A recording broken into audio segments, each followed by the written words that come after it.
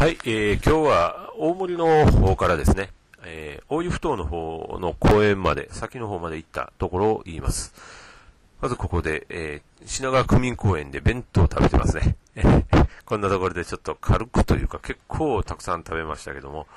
えー、こういうところで食べました。で、こっからあの、中央海浜公園を経て、えー、東京港野鳥公園に行きます。こういうところでね、こう観察できるようなところで、こう観察者っていうような書き方してましたけど、ここから鳥を見ます。え、この窓からですね、鳥、鳥をびっくりさせないようにああいう風になってて、ここに鳥がたくさんいるんですよね。はい。で、あの、この池にたくさんいるんですけども、こんな感じで見えますね。え、これ池で、反対側はその、まあビルとか建ってますけども、ここ干潟になってるみたいで、塩水の部分もあるというようなことです。鳥たくさんいますよ、これ。えー、どんな種類の鳥かちょっと 私あんまりよくわからないんですけど。で、これは公園を出た後、次のところに行く手前の橋なんですけど、そこからですね、こんな大きなアーチの橋が見えました。これなんだろうって、ちょ地図で調べたんですけど、わからないんですけども、知ってる人を教えてくれたらありがたいです。え、こんな風な感じで、これはちょっとね、えーとか思って、遠くにあるからこれカメラでないとなかなか見えないところです。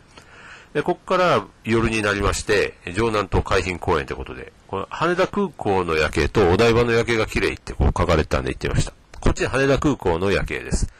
こんな感じでですね、見えます。ちょっとこのね、ビデオで撮ってると若干ピンボケの感があるんですけども、飛行機もたくさん飛んでたんですけどもね、えー、あんまり綺麗に撮れなかったです。こっちはあの、反対側に行きまして、これ、お台場の方の夜景、東京タワーとレインボーブリッジが綺麗ですよね。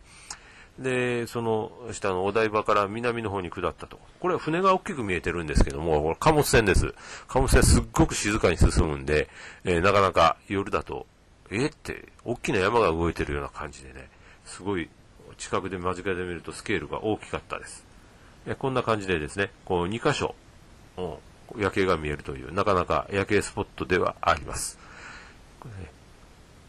この日は天気が良かったんです、スカイツリーも若干見えてますよね。ええ。やっぱりスカイツリーより東京タワーの方が綺麗かなというふうに思ったりもします。え以上、